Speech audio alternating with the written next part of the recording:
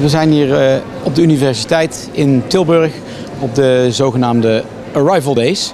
Uh, de Universiteit van Tilburg, wij als Universiteit van Tilburg organiseren deze Arrival Days om al onze nieuwe studenten die van over heel de wereld naar Tilburg komen om hier voor kortere of wat langere periode te studeren.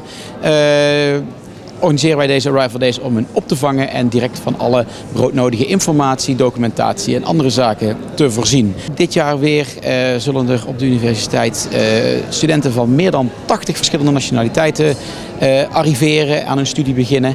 En voor deze, voor deze studenten worden deze dagen neergezet.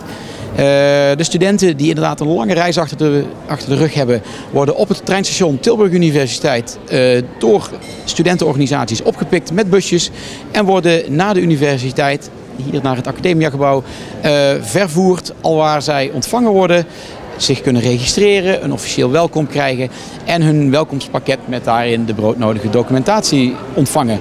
Ook kunnen zij direct naar een van de woningcorporaties waar zij hun kamer geboekt hebben om daar hun sleutel af te, af te halen, zodat zij ook die avond alweer een dak boven hun hoofd hebben.